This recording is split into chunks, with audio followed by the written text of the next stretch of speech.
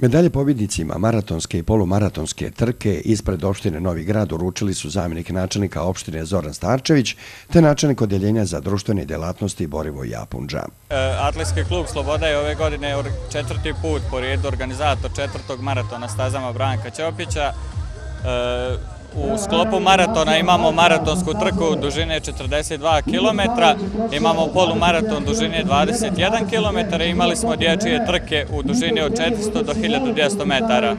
Maraton stazama Branka Ćopića, jedini maraton u BiH organizuje Atletski klub Sloboda iz Novog grada uz podršku opština Novi i Krupa na Uniji.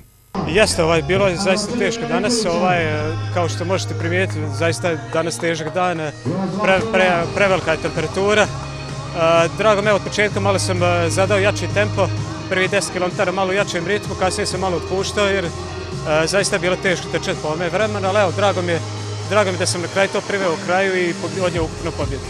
Jao, jako je vruće danas, vidite i sami vrijeme je baš stvarno jako teško za trčanje i svako ko istrči stvarno, ovo za svaku pohvalu. Ja sam, tako reći, crkla od vrućine, ovo je strašno.